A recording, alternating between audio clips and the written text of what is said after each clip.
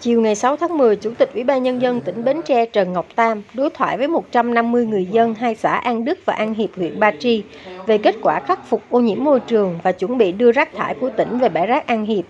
Theo báo cáo của Sở Tài nguyên và Môi trường tỉnh Bến Tre, đến nay sự cố ô nhiễm môi trường tại bãi rác An Hiệp đã cơ bản được khắc phục xong, đạt hiệu quả tốt, giảm được hơn 95% mức độ ô nhiễm so với thời cao điểm của ngày 17 tháng 7 năm 2023. Cạnh đó, đơn vị chức năng cũng đã trồng khoảng 448 cây xanh xung quanh bãi rác An Hiệp nhằm tạo vùng đệm bằng cây xanh, hạn chế tác động của bãi rác đến môi trường xung quanh.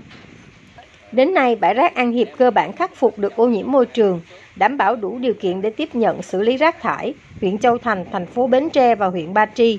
Sắp tới, bãi rác An Hiệp sẽ tiếp nhận và xử lý rác thải bằng hình thức chôn lấp hợp vệ sinh, cho đến khi nhà máy xử lý rác thải Bến Tre hoàn thành tái cơ cấu đi vào hoạt động dự kiến quý 1 năm 2026.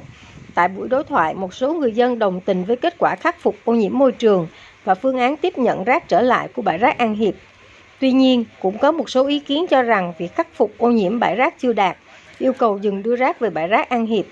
Trước đó, hơn 2 tháng qua, kể từ ngày 15 tháng 7, hàng chục người dân ở hai xã An Đức và An Hiệp, huyện Ba Tri đã túc trực ngày đêm chặn không cho xe chở rác vào bãi rác An Hiệp khiến lượng rác thải bị ùn ứ nhiều nơi tại thành phố Bến Tre và huyện Ba Tri.